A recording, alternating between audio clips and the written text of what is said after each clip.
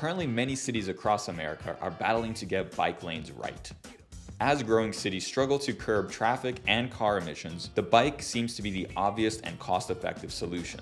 But poor design is costing many cities, not just with redundant infrastructure, but with accidents and lives. For many cities, it's their first time building bike lanes, and as a result, they lack the standards to do it well. They're also battling communities, as some neighbors oppose any change in their town. And they're fighting culture, as many Americans were sold on the idea that the car was the ultimate symbol of freedom. Our American dream. Yet one city, or should I say region, has done an exceptional job of building out not just bike lanes, but a fantastic bike network. But it wasn't easy, and the region faced a lot of backlash. And today I'm going to show you how the Boston metro area went from streets having useless parallel white paint to a real bike network, and how Boston's politicians succeeded over local opposition.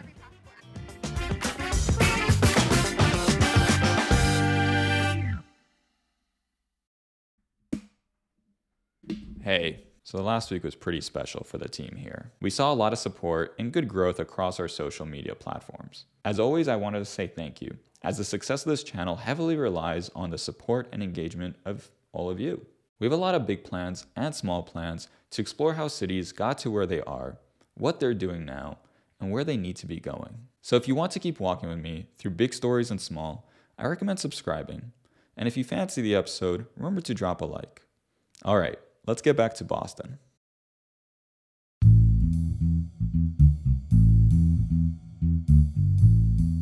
Our story starts in 2010, when Mayor Menino, the mayor of Boston at the time, made the bold and ambitious statement The car is no longer king in Boston, the mayor said. While he was just starting to roll out some of the first bike share programs in Boston, he had big plans in mind. Mayor Menino would continue to walk the walk into 2013, when he released a 30 year plan to develop a well connected and extensive bike network in Boston. At the time, the city only had 120 miles of bike lanes, but their plan was to get it up to 350 miles in the next 30 years. But it wasn't just about miles, and the Boston government recognized this early. They knew the network itself had to be good. And the mayor made it a goal to make sure that these bike networks hit important destinations such as workplaces, schools, parks, and public transportation. The network also aimed to cover all of Boston, not just the downtown area as many cities tend to do. The city outlined some decent bike infrastructure. Most of it was still just white paint and plastic bollards, but it would get so, so much better. But we'll get back to that in a bit.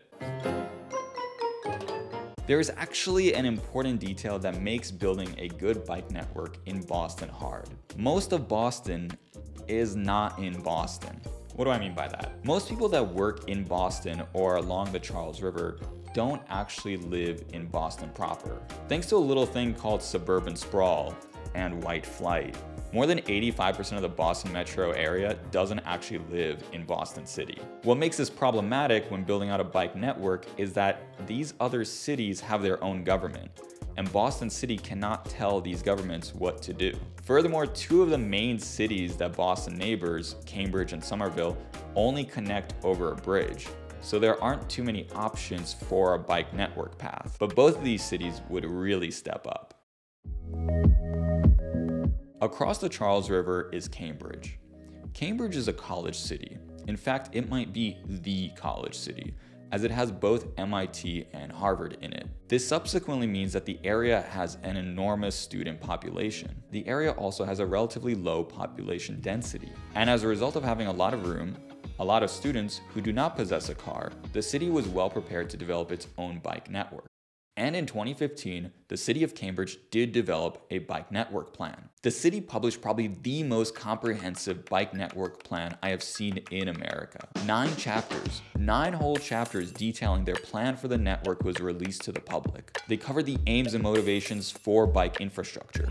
They generated several data-driven goals, isolating the areas where bikes were most prone to be hit by cars.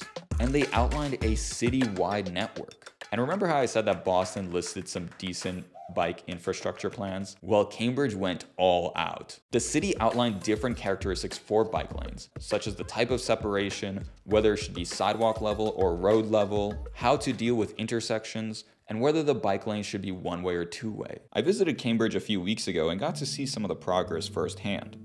Most of the implemented infrastructure is still fairly simple, mainly paint with either parking or bollard protected bike lanes. The city does have a few sidewalk level bike lanes around new developments. Other cities were more hesitant to expand bike infrastructure. Somerville, which borders Cambridge and Boston, was not as eager to develop a regional bike plan. But in Boston, mayor after mayor would reaffirm their commitment to developing bike infrastructure. In 2019, Mayor Walsh announced that the city would need to reduce car usage by half if it were to hit its 2030 goals. And in 2022, Mayor Wu would reaffirm her commitment to bike infrastructure by announcing more bike lane expansion and more rental bike stations. Finally, other suburbs would start to come around. Somerville started incremental Vision Zero and bike lane improvements in 2020, leading up to a comprehensive bike network plan being published in 2023.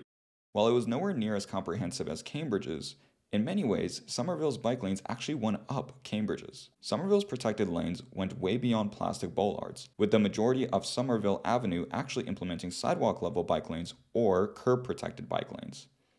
These sidewalk level bike lanes are brilliant as the curbs prevent cars or mopeds from just leaving the road whenever they want. The dividing pattern also uses natural materials, so they don't remove from the regional aesthetics the way plastic bollards do. But probably even more importantly, Somerville would develop on its community path, turning it into an excellent bike greenway that connected the exurbs in Arlington to the city core in Boston. And this route would become super important in the present day, but we'll get back to that. Today, many of Boston's bike lanes are impressive and feel incredibly safe. And while they look great now, their construction was truly an uphill battle. On this channel, I've shown repeatedly opposition to bike lanes, better transit, and safer streets in America. Boston was no different.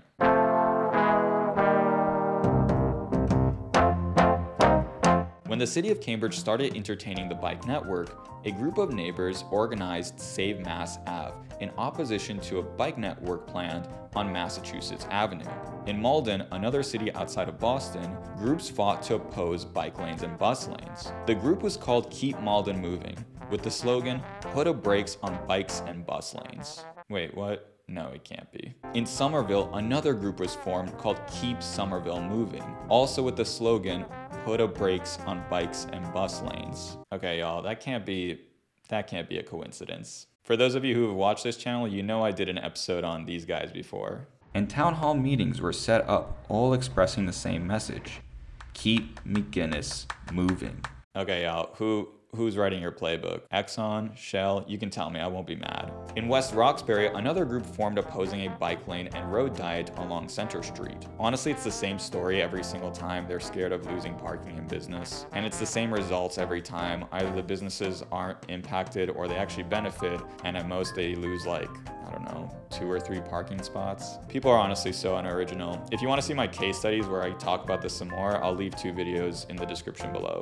Okay, so there was this opposition, yet the region still got its bike network. How did the elected politicians succeed? Simple. They didn't cave. A lot of these politicians ran on a promise. They promised that they would build this bike infrastructure. So they have to assume that their constituents who voted for them support this promise. And as politicians with a constitution, they didn't feel the need to pander to a few people that attend community board meetings. In most of the cases, the councils did hold a vote to decide whether they should put a pause on the bike network expansion. But in the case of Mass Ave and Malden, each time the city council stuck to their promise and voted against pausing the effort.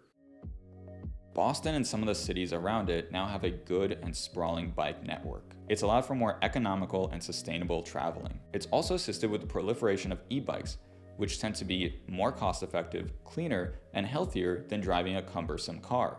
And more comfortable than riding a standard bike. The bike infrastructure has also been vital to adding redundancy to the region's transportation network. Remember that bike greenway I mentioned in Somerville? Well, earlier this year, when the MBTA Red Line slowed down due to maintenance, Commuting by bike on this greenway became actually faster than taking the train. This is healthy for the overall region's traffic, as people now have options of how to get around. Does the bike network have room for improvement? Of course. The network arguably suffers from the same thing that the train network in the region suffers from. Most of the routes are centered around getting to downtown Boston. For example, while I was in the area, I wanted to bike from Arlington to West Roxbury, but most of the suggested routes recommended I go directly into Boston.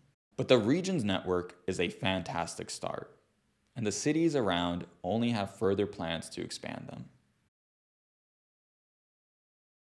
Hey, I just wanted to say thanks again for watching the episode. As I mentioned, we have some small and big plans for future episodes. And if you're a fan of our work, there are some small and big ways you can help out. As always, liking and subscribing helps us greatly. But also sharing the episode helps us grow the channel and spread awareness about the great urban stories happening across the country. If you really like our work, you can support us in a big way by hitting the super like button down below. We're looking to get certain gear for future episodes, and that financial support would help with those plans. Alright, thanks again, and until next time, remember to keep on walking. Or biking.